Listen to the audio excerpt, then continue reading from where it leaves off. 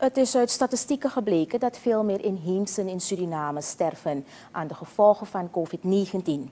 Dit zei gezondheidsminister Amar Ramadien donderdag tijdens een openbare zitting in de Nationale Assemblée. De minister zegt dat het sterftecijfer bij de inheemsen hoger is, ondanks het aantal besmettingen onder deze groep veel minder is dan andere etnische groepen.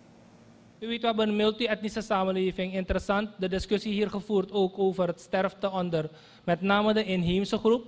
Op dit plaatje kunt u duidelijk zien, bijvoorbeeld we praten over golf 1, dat is uiterst links. Dan ziet u daar met name heel veel personen van het Creools en Hindoestaanse, van de Hindoestaanse en Creoolse ras. En inheems is de derde balk. Maar de oranje strepen, die zijn het aantal overledenen in die verschillende bevolkingsgroepen. En wat we zien is dat ondanks de inheemsen minder waren dan de Hindustanen en de Creolen, wij toch een hoger sterftecijfer zagen onder die groep. Dus dat geeft ook wel aan, en ik heb eerder aangehaald, dat de WHO en PAHO zelf hebben gemeld dat er over heel Latijns-Amerika gezien wordt dat COVID bij inheemse zich anders gedraagt. Dus dit is wel iets waar we moeten, wat we moeten meenemen.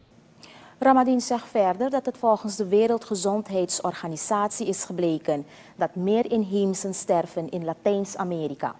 Over het heel gebied is er sprake van een hogere sterftecijfer bij inheemsen dan andere bevolkingsgroepen. Het is volgens de gezondheidsminister van belang dat er onderzocht wordt waarom meer inheemsen sterven aan het virus.